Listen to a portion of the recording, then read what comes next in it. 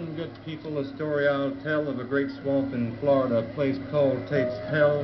140 square watery miles with millions of skeeters and big yellow flies.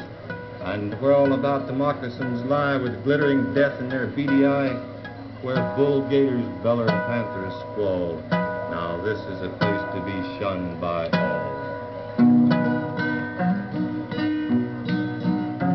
Old Tate left Sumatra long about dark. He had his two big dogs and a puppy named Spark, an old long Tom shotgun, a sharp Barlow knife. That panther was sure have the chase of his life.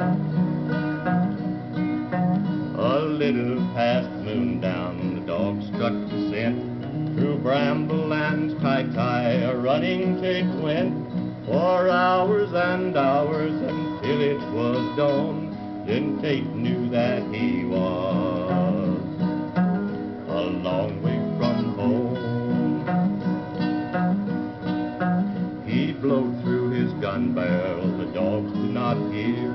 The panther had killed him, and now Tate felt fear. The sun was not shining, the mist it was thick. Oh Lordy, Tate hollered, I'm lost up the creek.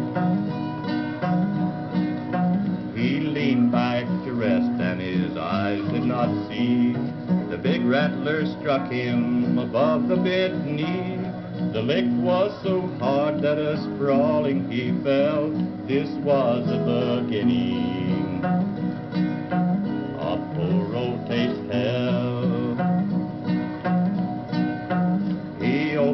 his Barlow and he grabbed him some moss.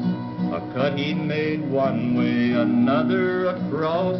He wrapped his leg tightly and tied it with string. Then sickness came on him, his body turned green.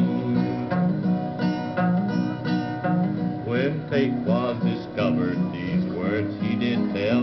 My name is Old Tate, boys, I've just been in hell. These words were the last that he said. His spirit has left him. Old Tate, was dead. No man can dispute this legend of yore, how Tate lived a full week and then five days more and somehow crawled out near Carrabelle from the deep ghostly swamp that we know as Tate's Hell. Thank you very much. Now, ladies and gentlemen, Gamble Rogers.